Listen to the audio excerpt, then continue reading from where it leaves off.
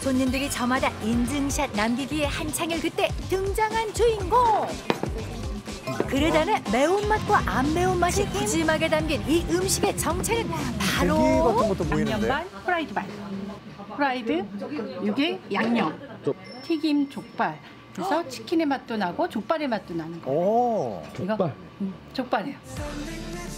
치킨 맛도 나고 족발 맛도 난다는 이것은 바로 튀김 족발 되시겠습니다. 족발을 튀겼어요. 이 집의 역주행 포인트 첫 번째인데요.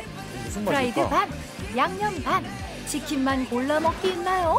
족발도 골라 먹을 수 있습니다. 족발을 통째로 튀겨낸 프라이드 족발과 양파 그리고 고추 튀김, 불족발을 한 함께 입에. 먹을 수 있는 양념 족발까지. 족발의 신세계를 연 맛집이었는데요. 취향대로 따로 또 같이 먹을 수 있는 재미까지 더했답니다. 뭔가 같이 먹어서 좋아. 족발만 먹으면 또 부드럽긴 한데 좀 느끼할 때도 있는데 튀김이랑 같이 이렇게 해서 같이 먹으면 중간중간에 또 맛있어져. 아, 훨씬 담백하겠네요. 너무 많이 먹게 돼. 그렇죠. 계속 이어지죠 맛이. 튀김옷이 바삭바삭하고 속 안에 쫄깃한 맛이 아주 다른 족발 같지 않아서 너무 좋은 것 같아요. 완전 다를 것 튀김에도 같아요. 불구하고 되게 일반 족발보다 좀 더 쫀득함이 살아있어요. 족발을 통째로 튀겼음에도 부드럽고 쫀득한 속살이 족발의 매력 포인트라는데요. 겉바 속촉의 비결을 알아봐야겠죠?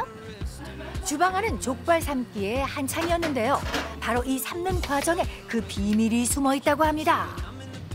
국내산 신선한 돼지족을 냄비에 넣고 각종 한약재와 채소를 넣어 함께 푹 익히는데요. 여기에 돼지족을 젓고 젓고 또 저어주는 것이 그 비결이랍니다. 어, 왜 먹었을 때? 특히 튀겼을 때 그 쫄깃쫄깃한 식감을 더 만들어내기 위해서 자주 저어줄수록 확실히 다르더라고요. 오. 돼지족은 3시간 이상 삶아야 한다는데요. 15분 간격으로 골고루 저어주어야 야들야들하고 쫄깃한 식감이 완성된다고 합니다. 쫄깃쫄깃해 보여요. 부드럽고 쫄깃한 식감을 고수하는 것이 바로 이 집의 역주행 두 번째 포인트. 살코기와 뼈가 잘 분리되고 칼로 슬슬 썰리는 이 부드러움 느껴지시나요? 어, 이미 부드러워요. 네.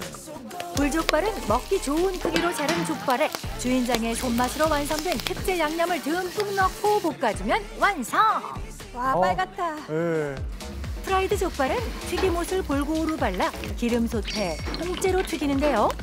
이때 기름 속에 있던 족발을 꺼내 공기와 접촉시켰다가 다시 튀기는 것이 바삭함의 비결이랍니다. 아. 어, 바삭해요.